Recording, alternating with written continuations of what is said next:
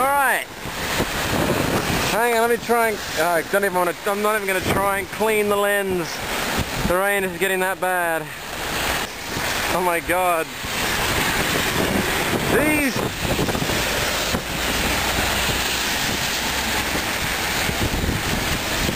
Ah, the... God, the wind is picking up. Let me try and go somewhere undercover. Okay, I explained this before on the mobile phone, but I'll explain it again for the benefit of those who didn't hear it the first time. This is the Schulz Canal. The section to the left of the blue ropes. God damn it. The wind is nuts. The section to the left of the blue ropes, that was just a creek. Now it's expanded. Wind is really picking up. I'm gonna move. Alright, let's try it again from over here. This is the Schulz Canal. All this rain has meant the creek has burst its banks and it swept over a construction yard to the left of the, to the um, southern side. So all that crap's getting swept downstream. You can see over here, you can see the construction buildings built on stilts for a reason, might I add. Oh yeah, we've got a car down there.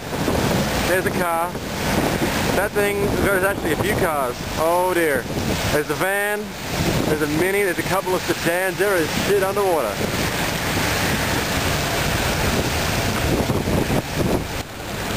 This is the car park of the local Centro.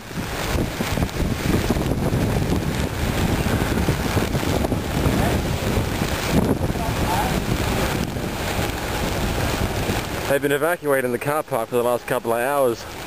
But as you can see, a few people didn't get that message.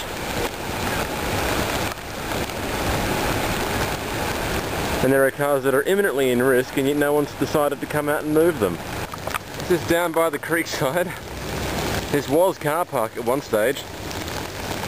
And you can see we've got the buildings on stilts, very well placed, and a couple of poor unfortunate cars. The floodwaters are basically reaching up, well, to here. I'm basically standing on the edge of it. And both we have the airport link completely out of harm's way. So yeah, there's another car. Looking like if the water gets any higher, it might start to drift.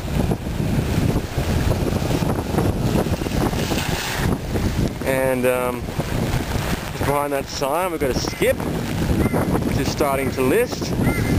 Looks like it might be on the point of breaking free.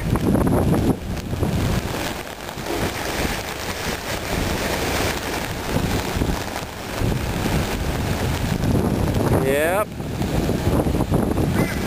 We decided to live here. it's basically really invading the car park now. And people are still trying to get their shopping done.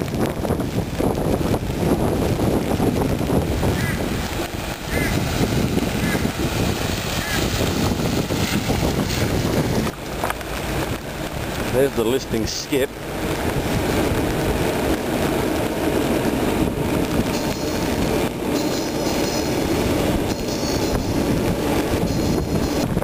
Point of perspective, you see those metal uh, grills at the bridge that the water is flowing over?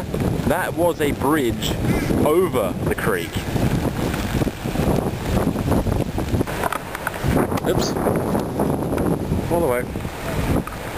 Well, the rain seems to have backed off considerably now, but we've got floodwaters all the way up this part of the car park. Yep. News crews are all over the place. I've seen it 7 and 10 at least. As God, I can hear it bubbling. I don't know what that is. Probably the sewer. And uh, some people just didn't get the warning about the cars being underwater. So there are at least probably about half a dozen of the things stuck in this. Water is, oh god, that one's got its window open. That's even worse. There's definitely water in that one. It's not the next Brisbane flood yet, but it's the worst I've ever seen personally, because I have only moved in here. Look, it's nice that I'm take this way to get home.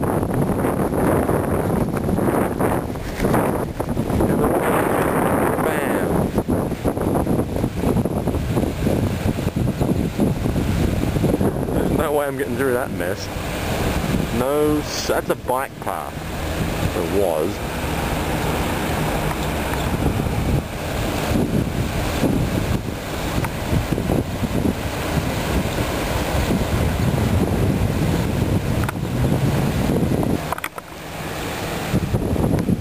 I think I might have to wrap this up. I'm running out of memory space. But my god. Is it Les ABC? 7? 10? I'm betting that's 9 over the far side there. But yep. Welcome to the floods, January 2012. Or at least our flood. Don't know how big this actually is.